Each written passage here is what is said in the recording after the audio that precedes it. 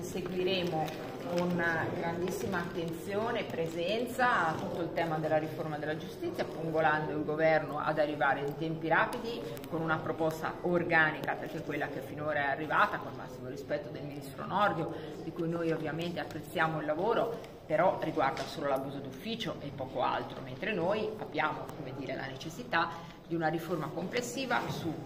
separazione delle carriere, uso distorto delle intercettazioni, correnti in magistratura. E vediamo se questo governo si dimostrerà garantista oppure no. Noi abbiamo qualche dubbio, visto che vanno a rallentatore e continuano diciamo, a annacquare le proposte, però vediamo.